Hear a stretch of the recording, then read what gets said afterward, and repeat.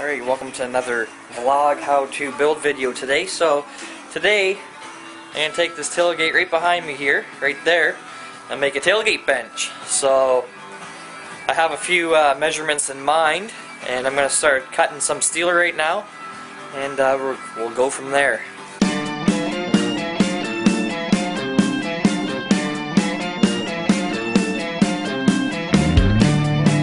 So there's my pieces. Doesn't look like much. So there's the main back support. So what I did, I got everything from quarter inch down to zero, but I'm not going to cut all the way through.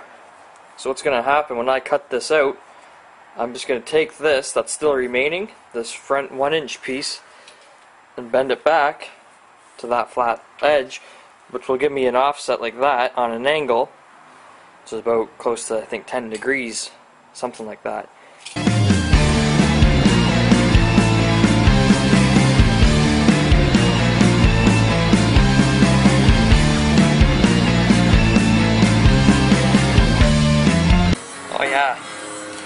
That's a nice one. Look at that. What do you know? I don't know much. So there's my slot. So what happens now, that's going to be the back piece right there, and then it comes straight down like that. So I just got to weld that up. So that's my design right now. So I have it so that the seat part tapers like that.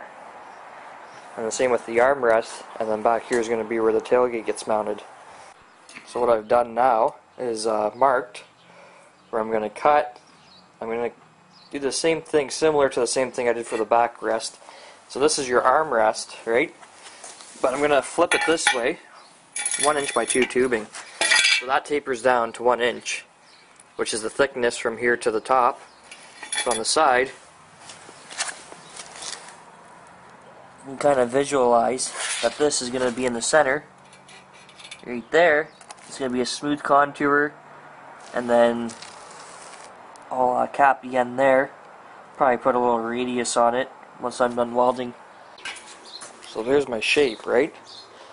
So, this is pretty hot right now, so I'll just show you. So something like that. I mean, I'll still have to work the stainless here, but tapers back to one inch. So there's the tailgate. I mean, I still got to take this uh, aluminum panel off see what she looks like underneath. But I asked, put an ad on Kijiji for some patina, and I got my patina. Pretty happy, so I'll just uh, feather that back, you know, so that that uh, paint peel isn't sticking up when I go to clear. I'm going to rust convert all the bare uh, surface rust, and uh, it's actually pretty mint. It's solid. A little beat up in the back, but it's an old tailgate. You're not going to see the back of it anyway. 66 inches long. You believe that shit?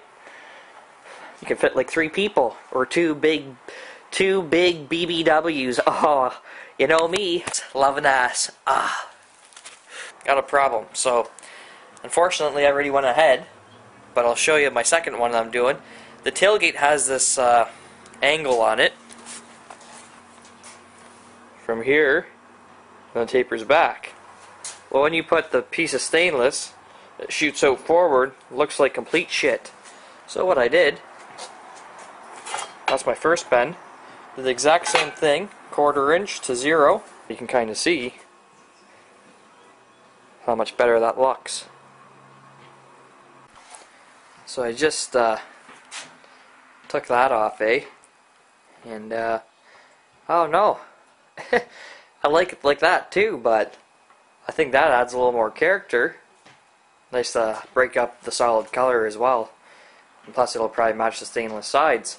But shit, that's not bad, eh? I think it's like a, off the 80 something, 82, 83 maybe. That's what he told me, but look at that. Letters are still embossed.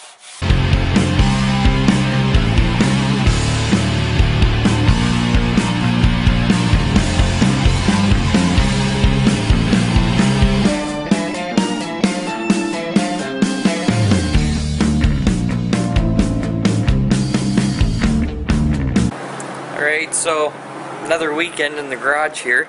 Ran out of argon last weekend, so I couldn't continue to tack. So now we're still tacking. Let me show you. So that's the main shape. That's your armrest. That's going to go there. I got my square clamped on the table. It's the front leg.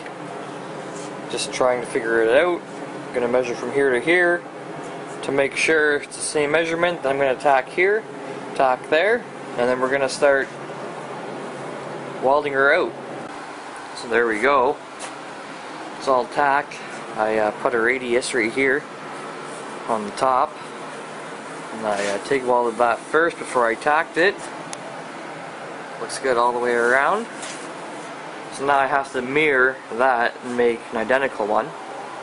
And then I can put the tailgate in between and then take a measurement and drill some holes to mount it and we'll be on our way. So I uh, got this all tacked up and I'm going to drill my holes for my uh, 3 8 bolts. Alright, so what I did, drill the hole there, 3 8 I'm going to tack that nut in there. That way I'll have something to thread into. From okay, so I got these pieces tacked in. So this is from a pallet, right? So I'm going to have that actually flush with the tube there and the tube there. I'm gonna still got to sand these and stain them, but I still got to put in uh, like a piece of stainless angle at the back and the front here to keep the boards in place. So I just uh, plasma cut the square tubing, so it's uh, you know it's like basically two pieces of angle, if you know what I mean. It's hot as hell right now. Got a banana in her, but we'll uh, straighten that out when we tack it to the back, and then we'll have something to put the wood on, and then drill holes and bolt the wood on to it. Anyways, I'm tired right now, so thanks for watching part one of this uh, vlog uh, tailgate build. Until next time, cheers. Expect the unexpected.